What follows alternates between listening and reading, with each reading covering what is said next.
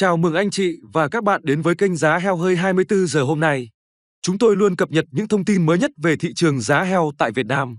Lời đầu tiên ban biên tập xin gửi đến quý anh chị và các bạn lời chúc sức khỏe, hạnh phúc, thành công và gặp nhiều may mắn. Nếu như đây là lần đầu tiên anh chị và các bạn đến với kênh này, thì rất mong anh chị và các bạn bấm vào nút đăng ký bên dưới để ủng hộ kênh và không bỏ lỡ những video mới nhất nhé. Sau đây là nội dung chi tiết. Giá heo hơi ngày 22 tháng 9 năm 2023 biến động bất ngờ. Hai công ty chăn nuôi lớn là Seji và Jaffa đồng loạt giảm 500 đồng chuột kg heo thịt bán ra. Giá heo hơi nuôi trong dân tương đối ổn định. Giá heo hơi miền Bắc Với đợt giảm mới, giá heo thịt từ công ty Seji còn 55.500 đồng một kg, Jaffa còn 57.000 đồng chuột kg. Công ty C, P giữ nguyên mức giá 58.000 đồng chuột kg. Giá heo nuôi trong dân có diễn biến ngược lại. Một số địa phương giao dịch heo thịt sôi động hơn, nguồn heo khan hiếm và giá lại đang nhích nhẹ. Tại các tỉnh đồng bằng Bắc Bộ, Hà Nội, Hương Yên, Nam Định, Hà Nam, Hải Dương, Thái Bình, giá heo hơi duy trì trong khoảng từ 55.000 đến 58.000 đồng một kg. Tại các tỉnh Trung Du miền núi phía Bắc như Thái Nguyên, Bắc Giang, Phú Thọ, Tuyên Quang, giá heo bình quân khoảng 54.000 đến 57.000 đồng trên kg. Các tỉnh miền núi Tây Bắc giá heo hơi từ 55.000 đến 57.000 đồng 1 kg. Trong đó Hòa Bình còn 56.000 đến 58.000 đồng 1 kg. Sơn La, Lai Châu, Điện Biên dao động trong khoảng 57.000 đến 59.000 đồng 1 kg. Các tỉnh Đông Bắc như Lạng Sơn, Lào Cai 57.000 đến 58.000 đồng 1 kg. Quảng Ninh 56.000 đến 58.000 đồng trên kg. Giá heo hơi miền Trung Tây Nguyên Khu vực miền Trung Tây Nguyên, giá heo giữ nguyên ở mức 55.000 đến 57.000 đồng 1 kg. Tại Bắc Trung, mức phổ biến từ 55.000 đến 57.000 đồng 1 kg. Các tỉnh Thanh Hóa, Nghệ An, Hà Tĩnh dao động trong khoảng 55.000 đến 57.000 đồng 1 kg. Các tỉnh Quảng Trị, Thừa Thiên Huế từ 55.000 đến 56.000 đồng 1 kg. Khu vực Nam Trung Bộ, giá heo dao động trong khoảng 55.000 đến 57.000 đồng 1 kg. Quảng Nam, Đà Nẵng từ 56.000 đến 57.000 đồng 1 kg. Quảng Ngãi, Phú Yên, Khánh Hòa 55.000 đến 56.000 đồng trên kg, Bình Định 55.000 đến 56.000 đồng một kg, Bình Thuận từ 55.000 đến 56.000 đồng một kg. Giá heo tại Tây Nguyên từ 55.000 đến 57.000 đồng một kg. Đắk Lắk, Gia Lai, Con Tum, Đắk Nông từ 55.000 đến 57.000 đồng một kg. Lâm Đồng 56.000 đến 57.000 đồng trên kg. Giá heo hơi miền Nam Tại một số địa phương phía Nam xuất hiện tình trạng tăng cục bộ.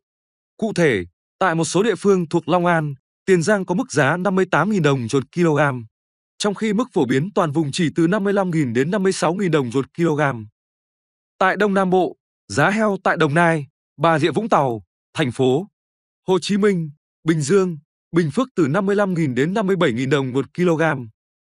Tại các tỉnh Tây Nam Bộ, Giá heo hơi tại Long An và Tiền Giang 55.000 đến 58.000 đồng một kg, Vĩnh Long, Trà Vinh, Sóc Trăng, Hậu Giang, Bến Tre, Bạc Liêu từ 55.000 đến 56.000 đồng một kg, Cần Thơ, Đồng Tháp, An Giang từ 55.000 đến 57.000 đồng một kg.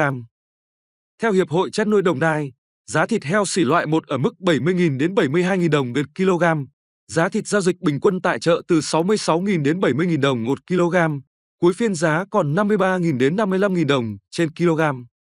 Kiên Giang mở rộng chăn nuôi an toàn sinh học. Năm 2023, ngành nông nghiệp Kiên Giang triển khai nhiều mô hình chăn nuôi an toàn sinh học với đối tượng nuôi đa dạng như heo, gà, vịt, ngan pháp, giúp dân phát triển chăn nuôi, phòng chống dịch bệnh hiệu quả. Bà Lê Thị Hồng Cẩm, cán bộ phòng khuyến nông, trồng trọt và chăn nuôi, Trung tâm khuyến nông Kiên Giang cho biết, để chuyển giao mô hình chăn nuôi, nông dân tham gia phải có diện tích đạt yêu cầu kỹ thuật để xây dựng trường trại, có tinh thần ham ham học hỏi, nhiệt tình, tiên phong áp dụng những tiến bộ khoa học kỹ thuật mới vào sản xuất để phát triển kinh tế hộ gia đình. Các đối tượng vật nuôi được chọn phù hợp với điều kiện địa phương và tập quán chăn nuôi nông dân, có thị trường tiêu thụ ổn định. Cụ thể là chăn nuôi heo thịt và heo sinh sản, gà nòi ô tía, gà tre, gà ri, vịt rimo, vịt xiêm pháp. Hình thức chăn nuôi phải đảm bảo an toàn sinh học, an toàn dịch bệnh, đảm bảo đàn vật nuôi phát triển tốt, đạt hiệu quả cao. Người chăn nuôi tái đàn đón Tết. Nhưng do dịch tả heo châu Phi đang lan rộng khắp các tỉnh khiến người chăn nuôi chưa tăng lượng nuôi mạnh mẽ. Bên cạnh đó, giá heo hơi giảm trong thời gian qua cũng khiến người dân e rè tán đàn vì lo lắng lợi nhuận thấp. Do ảnh hưởng của thời tiết giao mùa, dịch bệnh dễ phát sinh nên người dân lo ngại sẽ ảnh hưởng đến việc chăn nuôi chuẩn bị cho thị trường Tết. Tuy nhiên, người chăn nuôi cũng bớt lo lắng phần nào khi Việt Nam đã có vaccine dịch tả heo châu Phi. Tính đến tháng 7, đã có hơn 650.000 liều vaccine ASF được kiểm soát chất lượng đạt 100% và sử dụng an toàn theo hướng dẫn của nhà sản xuất tại hơn 40 tỉnh, thành phố trên phạm vi cả nước. Tỷ lệ heo được tiêm vaccine có đáp ứng miễn dịch sinh kháng thể đạt trung bình trên 95%. Ngoài ra, công ty cổ phần tập đoàn Dabaco đã hoàn thành giai đoạn thử nghiệm cuối cùng, trong đó tất cả heo được tiêm phòng đều có phản ứng kháng thể. Nhà máy sản xuất vaccine ASF của Dabaco sẽ sẵn sàng sản xuất hàng loạt vào cuối quý tư năm 2023 và đặt mục tiêu xuất khẩu vaccine sang các quốc gia chăn nuôi heo lớn. Hiện, khoảng 75% nguyên liệu thức ăn chăn nuôi của nước ta đến từ thị trường nước ngoài. Trải qua chu kỳ siêu tăng giá hàng hóa sau đại dịch COVID-19, mất mùa ở các nước sản xuất lớn và căng thẳng chính trị Nga, Ukraine khiến cho chuỗi cung ứng bị gián đoạn, ngành chăn nuôi càng bộc lộ rõ điểm yếu do phải phụ thuộc nguồn cung nhập khẩu. Mặc dù đã hạ nhiệt hơn so với giai đoạn cùng kỳ năm ngoái nhưng giá nông sản vẫn đang ở mức cao so với trung bình trong một thập kỷ qua. Hoạt động sản xuất của các nhà chăn nuôi, doanh nghiệp vẫn phải duy trì đặt ra nhu cầu cấp thiết về vấn đề nguồn cung và chi phí nguyên liệu. Tuy nhiên, việc chủ động nguồn nguyên liệu thức ăn chăn nuôi vẫn còn là bài toán dài hạn đối với không chỉ nông dân, doanh nghiệp mà còn là các nhà hoạch định chính sách. Hiện đang là thời điểm người chăn nuôi gia súc, gia cầm trên địa bàn tỉnh chuẩn bị con giống, tái đàn phục vụ nhu cầu dịp Tết. Tuy nhiên, đây cũng là thời điểm thời tiết diễn biến bất lợi, sức đề kháng của đàn vật nuôi giảm, dễ cho các loại virus tấn công. Do đó, người chăn nuôi cần cẩn trọng trong phòng, chống dịch bệnh. Theo báo cáo của Tri Cục Chăn nuôi và Thú y, từ đầu năm đến nay, tình hình dịch bệnh trên đàn vật nuôi được kiểm soát. Các địa phương đang triển khai tổ chức thực hiện tháng vệ sinh, khử trùng tiêu độc phòng, chống dịch bệnh gia súc, gia cầm, đồng thời triển khai tiêm vaccine phòng bệnh vụ thu đông. Ông Nguyễn Tri Phương, Phó Giám đốc Sở Nông nghiệp và Phát triển Nông thôn Phú Yên cho biết, để phát triển chăn nuôi bền vững, tỉnh sẽ vận động các trang trại liên kết với doanh nghiệp cung cấp giống, thức ăn và tiêu thụ sản phẩm theo chuỗi giá trị bền vững. Đối với chăn nuôi nông hộ hướng tới chăn nuôi an toàn sinh học, đảm bảo vệ sinh môi trường, an toàn dịch bệnh, áp dụng tiến bộ khoa học kỹ thuật mới và chuyển dần theo hướng chăn nuôi hữu cơ. Từ đó, chuyển dần từ chăn nuôi nông hộ sang chăn nuôi trang trại có quy mô phù hợp với từng loại vật nuôi, từng vùng và từng địa phương nhằm nâng cao giá trị gia tăng cho người chăn nuôi. Tỉnh khuyến khích và tạo điều kiện thuận lợi cho các doanh nghiệp đầu tư xây dựng các cơ sở chăn nuôi công nghiệp quy mô lớn, áp dụng quy trình khép kín, công nghệ hiện đại. Đặc biệt ưu tiên cho các nhà đầu tư chăn nuôi gắn với chế biến và chế biến sâu sản phẩm chăn nuôi hoặc các nhà đầu tư về vùng nguyên liệu và sản xuất thức ăn chăn nuôi. Tính đến cuối tháng 8, giá nguyên liệu thức ăn chăn nuôi chính như ngô, đậu nành và lúa mì đã giảm 15% đến 30% so với mức đỉnh trong quý 1.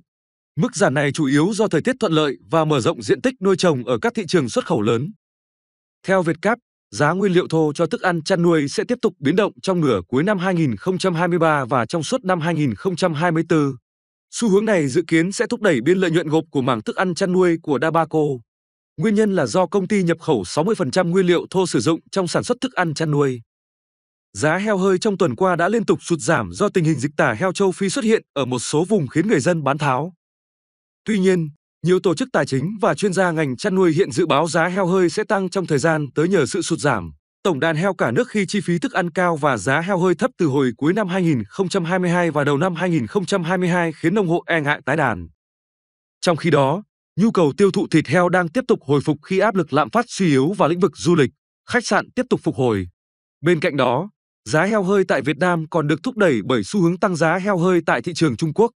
Hiện giá heo hơi tại Trung Quốc đã tăng lên mức 54.300 đồng một kg, sấp xỉ với mức trung bình của Việt Nam vào cuối tuần trước là 56.600 đồng một kg. Đưa ra những giải pháp nhằm phát triển bền vững ngành chăn nuôi heo trong thời gian tới, ông Nguyễn Quốc Đạt, Phó Chủ tịch Hội chăn nuôi Việt Nam nhận định, ngành chăn nuôi có phát triển bền vững hay không là do kinh tế thị trường quyết định và phải đảm bảo sự cân đối cung, cầu. Với các hộ chăn nuôi phải nhận thức rõ chăn nuôi heo hiện đã thay đổi, phải chăn nuôi theo hướng công nghiệp, chăn nuôi khép kín và chăn nuôi tuần hoàn để nâng cao hiệu quả đầu tư. Ngoài ra, cần có nhiều giải pháp để hạ giá thành chăn nuôi như đầu tư về con giống, tăng tỷ lệ nội địa thức ăn chăn nuôi.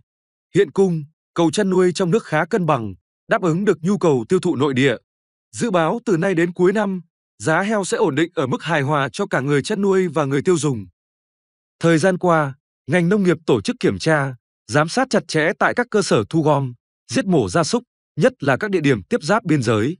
Đồng thời, tăng cường công tác kiểm tra và truy xuất nguồn gốc đối với việc vận chuyển heo vào tiêu thụ tại địa bàn tỉnh nhằm kịp thời phát hiện, xử lý nghiêm các trường hợp vi phạm. Ngành nông nghiệp còn thành lập các đoàn công tác kiểm tra, đôn đốc công tác kiểm soát, ngăn chặn việc vận chuyển, buôn bán heo trái phép vào địa phương. Cục Quản lý thị trường tỉnh, Cục Hải quan tỉnh tăng cường các biện pháp kiểm soát lưu thông thị trường, kịp thời phát hiện, xử lý nghiêm các trường hợp vận chuyển, buôn bán trái phép heo vào địa phương, kinh doanh trái phép heo không rõ nguồn gốc trên thị trường. Dự báo, giá nguyên liệu và thức ăn chăn nuôi thành phẩm tiếp tục có xu hướng giảm từ nay tới cuối năm 2023 và đầu năm 2024. Tuy nhiên, tình hình dịch bệnh vẫn còn xảy ra tại một số tỉnh, thành trên cả nước.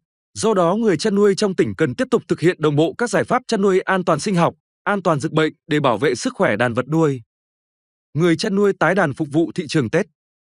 Đây đang là thời điểm tốt để các trang trại, hộ chăn nuôi tái đàn khôi phục sản xuất, bảo đảm nguồn cung cho thị trường, đặc biệt là trong dịp Tết sắp tới.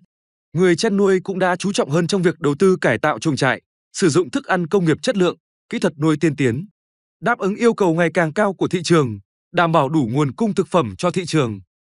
Giá thức ăn chăn nuôi dần hạ nhiệt, giá bán sản phẩm thịt tốt, nhu cầu ổn định và khả năng được được giảm thuế nhập khẩu nguyên liệu cho sản xuất thức ăn chăn nuôi. Trong đó có mặt hàng khô đậu tương sẽ là cơ sở cho các doanh nghiệp lên kế hoạch tái đàn, phát triển hoạt động kinh doanh trong thời gian tới. Giá nguyên liệu thức ăn chăn nuôi sẽ duy trì giảm tới cuối năm.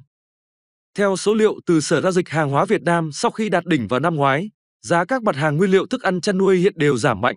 Trong đó, giá ngô, đậu tương và lúa mì đã hạ khoảng 15 đến 30% so với hồi đầu năm.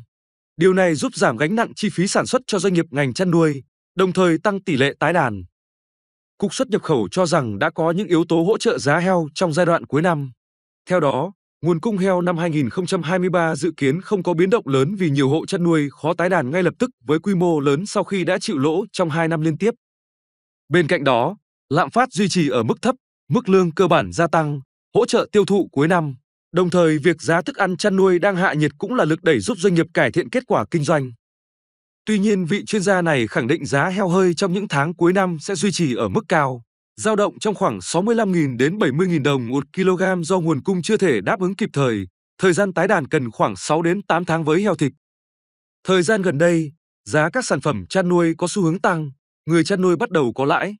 Vì vậy, các chủ trang trại, gia trại và các đơn vị chăn nuôi trên địa bàn tỉnh Thanh Hóa đang đẩy mạnh tái đàn, tăng đàn đảm bảo đủ nguồn cung sản phẩm chăn nuôi vào những tháng cuối năm, đặc biệt là trong dịp Tết Nguyên đán. Theo thông lệ vào thời điểm này, tỷ lệ tái đàn của người chăn nuôi sẽ tăng để phục vụ cho nhu cầu cuối năm. Thế nhưng hiện tình hình chăn nuôi tương đối bấp bênh, thứ nhất là về giá cả, đầu ra trồi sụt lên xuống liên tục. Thứ hai là hai năm vừa qua giá cám tăng quá mạnh.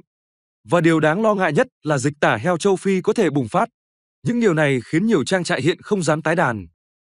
Tuy tỷ lệ tái đàn hiện đang thấp nhưng các chuyên gia vẫn lạc quan cho rằng khó xảy ra tình trạng thiếu nguồn cung thịt heo dịp cuối năm. Ông Dương Tất Thắng, Cục trưởng Cục Chăn nuôi, Bộ Nông nghiệp và Phát triển Nông thôn, cho biết, theo thông lệ, để phục vụ nhu cầu thị heo dịp cuối năm và Tết Nguyên đán, phải sang đến tháng 9, tháng 10 hàng năm thì doanh nghiệp, người chăn nuôi mới tái đàn để đảm bảo thời gian xuất chuồng. Do vậy, câu chuyện thiếu thịt heo dịp cuối năm sẽ khó xảy ra. Cũng theo ông Nguyễn Văn Trọng, giá thịt heo hơi của Thái Lan bao giờ cũng thấp hơn của Việt Nam. Mặt khác, nguồn cung của họ thời gian qua cũng dư nhiều. Thị trường mở dẫn đến heo hơi Thái Lan thẩm thấu sang thị trường Việt Nam. Hiệp hội chăn nuôi Đồng Nai cho biết, trong khi đa phần các hộ chăn nuôi đều có chung suy nghĩ giá heo hơi bấp bênh nên không chủ động tái đàn vì chăn nuôi không có lời. Phần khác vì lo ngại ảnh hưởng bởi dịch tả heo châu Phi, các công ty chăn nuôi lớn của cả Việt Nam và nước ngoài như Masan, Dabaco cũng giảm đàn. Với các hộ chăn nuôi phải nhận thức rõ chăn nuôi heo hiện đã thay đổi, phải chăn nuôi theo hướng công nghiệp, chăn nuôi khép kín và chăn nuôi tuần hoàn để nâng cao hiệu quả đầu tư. Ngoài ra, cần có nhiều giải pháp để hạ giá thành chăn nuôi như đầu tư về con giống, tăng tỷ lệ nội địa thức ăn chăn nuôi.